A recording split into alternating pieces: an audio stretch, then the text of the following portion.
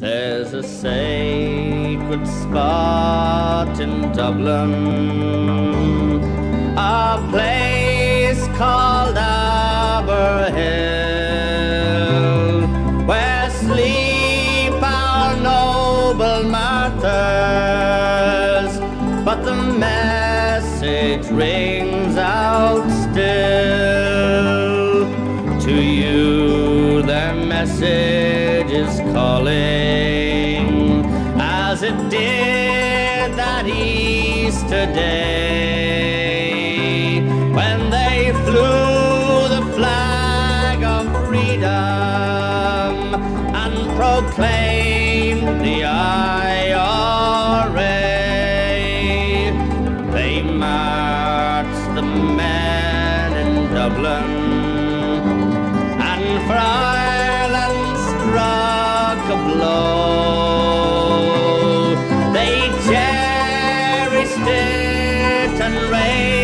the flag over Dublin's GPO.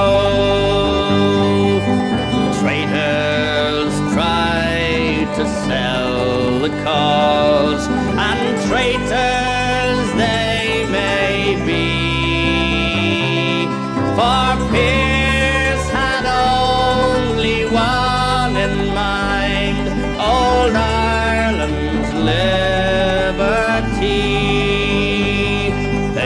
They followed Tone and Emmet and faced a martyr's grave.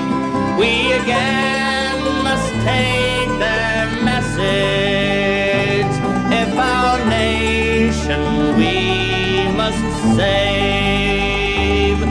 Six counties still subjected